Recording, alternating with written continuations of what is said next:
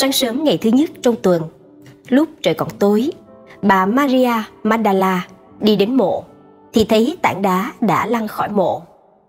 Bà liền chạy về gặp ông Simon Phêrô và người môn đệ Đức Giêsu thương mến.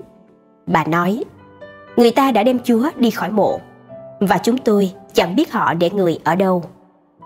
Bà Maria Magdala đứng ở ngoài gần bên mộ mà khóc. Bà vừa khóc vừa cúi xuống nhìn vào trong mộ thì thấy hai thiên thần mặc áo trắng ngồi ở nơi đã đặt thi hài của Đức Giêsu. Một vị ở phía đầu, một vị ở phía chân. Thiên thần hỏi bà: "Này bà, sao bà khóc?" Bà thưa: "Người ta đã lấy mất Chúa tôi rồi, và tôi không biết họ để người ở đâu." Nói xong, bà quay lại và thấy Đức Giêsu đứng đó, nhưng bà không biết là Đức Giêsu.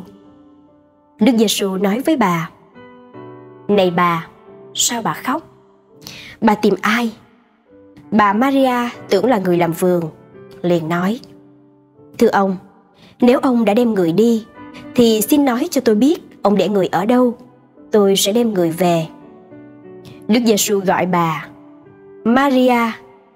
Bà quay lại và nói bằng tiếng Hebrew: Rabboni, nghĩa là lạy thầy. Đức Giêsu bảo: "Thôi, đừng giữ thầy lại, vì thầy chưa lên cùng Chúa Cha. Nhưng hãy đi gặp anh em thầy và bảo họ: Thầy lên cùng cha của thầy, cũng là cha của anh em. Lên cùng Thiên Chúa của thầy, cũng là Thiên Chúa của anh em." Bà Maria Magdala đi báo cho các môn đệ: "Tôi đã thấy Chúa."